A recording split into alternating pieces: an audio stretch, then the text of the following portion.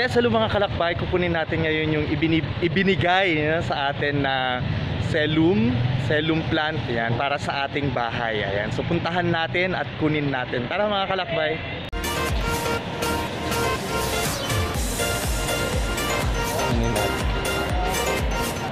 Yes, hello mga kalakbay. Nandito tayo ngayon sa SM kasi kukunin natin yung halaman na ibinigay.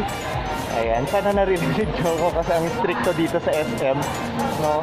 Um, kailangan may face mask at kailangan may face shield. But anyway, nandito tayo para kunin yung mga halaman na yan. So nakikita ninyo yung mga halaman na yan. Ayan, okay. So ipapakita ko sa inyo. Ayan.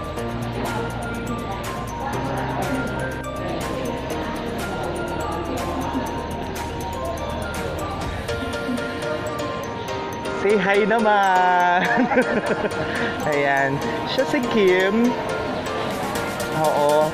Siya yung nagbabantay dito. Ayan. So makikita niyo mga may mga rare talaga silang plants and pots na, maki, na pwedeng bilhin. Dito yan sa SM actually. Pero meron silang mga ibang place. Meron sila talagang garden dun sa may Minante na talaga namang ang dami-daming halaman as in mapapagod ka sa pag-iikot. Ayan. So, eto na siya. Ayan, excited na ako talaga sa ibibigay nila. Ayan, sige. Pili pa daw tayo mga kalakbay. Nahiya ako. Nahiya ako, pero sige. Or, siya na lang kayo magbigay sa atin ng mga kalakbay para alam natin kung ano yung ibibigay niya. Okay, sige. Thank you. Ayan, so may sinasabi siya na dapat daw magkapantay. Okay. Okay. Dalawa, marami naman. Ayan. Ah, di ba?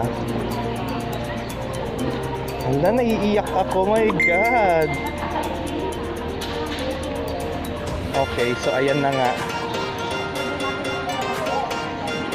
Hala.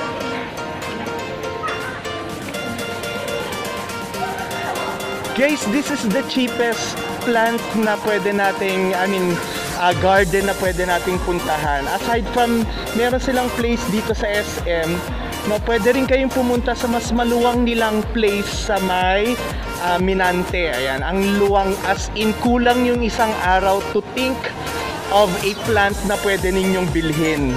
Ayan, kasi as in ang luwang-luwang nung kanilang lugar, promise. Ayan. Hala, naiiyak talaga ako. Mga kalakbay. Hindi ko ine-expect ito, promise. Kasi, tawag dito, um, ayun na nga, di ba?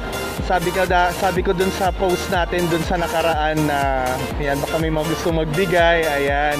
And our friend here, Kim, responded.